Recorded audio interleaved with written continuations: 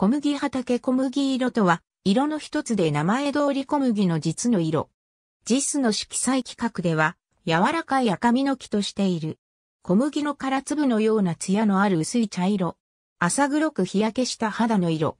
もともと日本にはなかった式名で、近代以降英語のウィートの訳語として使われるようになった。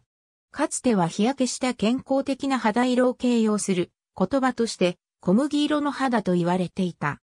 しかし、近年は紫外線の害が注目されるようになり、以前ほどは使われなくなった。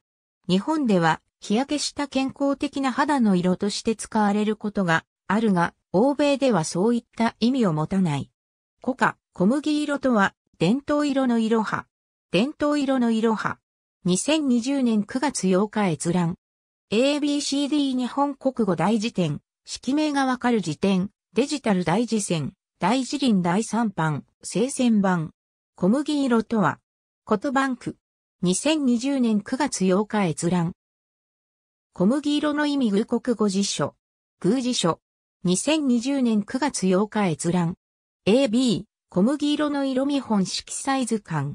色彩図鑑、カラーセラピーランド。2020年9月8日閲覧。ありがとうございます。